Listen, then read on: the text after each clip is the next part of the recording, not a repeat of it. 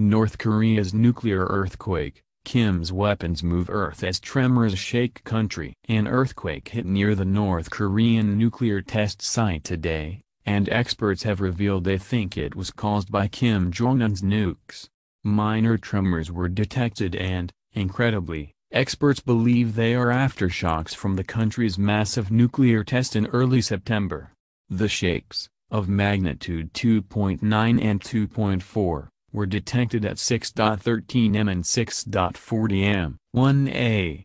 U.S. Geological Survey official said. Lassina Zerbo, executive secretary of the Vienna-based Comprehensive Nuclear Test Ban Treaty Organization, tweeted that the earthquake was tectonic. They were felt in the vicinity of the Punggye-ri nuclear test site, where North Korea conducted its sixth and largest underground nuclear test on September 3.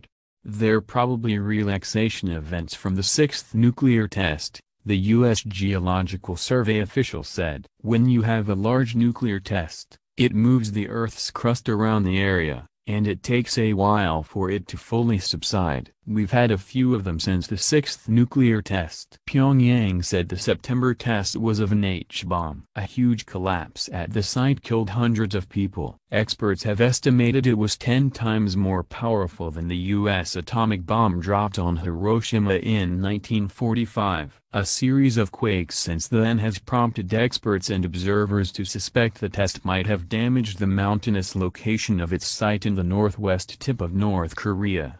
South Korea's spy agency told South Korean lawmakers in October that North Korea might be readying two more tunnels at the site. North Korea hinted its next nuclear test could be above ground after U.S. President Donald Trump warned in September that the United States would totally destroy the country if it threatened America.